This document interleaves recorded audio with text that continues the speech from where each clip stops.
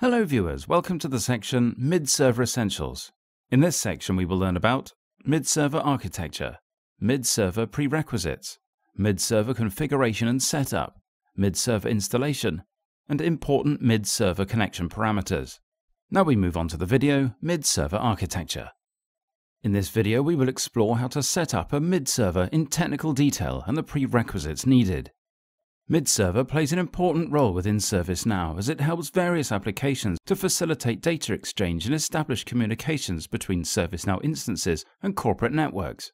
Mid-server is an important plugin within ServiceNow that is utilized by various applications within ServiceNow, not limited to the various integrations which are available in this diagram. Mid-server is Java software that is installed on a compatible server within the corporate network. This makes the communication secure enough to talk to the corporate network by not exposing any security drawbacks. Depending on the type of infrastructure setup, multiple mid-servers are placed within the network. Mid-server is installed behind the company firewall, allowing communication between ServiceNow and the rest of the company network.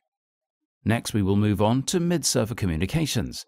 Mid-server communications happen through an external communications channel queue one way to think about the ECC queue is like an airline check-in kiosk. Mid-servers check each of these kiosks on a regular basis to see if there are any activities that need to be performed. If there is any activity, then mid-server does the job and sends the information back to the ECC queue, which is utilized by the ServiceNow instance to use.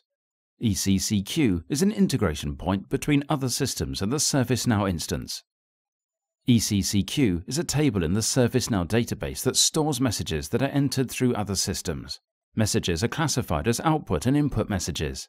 Output messages, messages from the ServiceNow instance to some other system.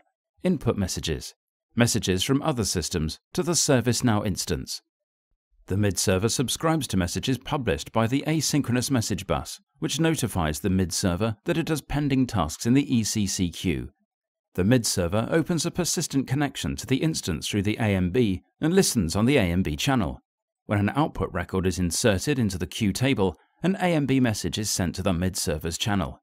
The mid server receives this message and immediately polls the ECC queue table for work. The mid server polls the ECC queue on the regular intervals defined in the mid.poll.time configuration parameter regardless of AMB message activity. The default polling interval is set to 40 seconds, but it can be reconfigured. This polling of the ECC queue at a regular interval is done in case the AMB connection is dropped. Now we will see the mid-server use case in an orchestration workflow. In this diagram, we can see how a mid-server is utilized in an orchestration workflow. Mid-server is used to perform an orchestration workflow. We will see some steps that can show how the communication happens from the ECC queue to the mid-server and back to the orchestration workflow. When an orchestration workflow is run, a probe record is created. Mid-server checks the output queue every 15 seconds and receives the probe record from the output queue. Mid-server finds the probe record and it reads through and executes against the specific target system or infrastructure component. Mid-server now returns the response back of the payload from the probe into the input queue. Orchestration workflow looks at the output queue on the response back from the mid server and follows the rest of the defined orchestration steps or scripts that need to be executed. Mid server, which is placed in the corporate networks, queries every 15 seconds to search for probe records. These parameters of 15 second frequencies can be adjusted to avoid unnecessary traffic in a multiple mid server deployment scenario. Once the probe records are executed, the results are posted back to the ServiceNow instance. Sensors are processors of the probe records. Sensors decide how to proceed on communicating with a particular infrastructure component.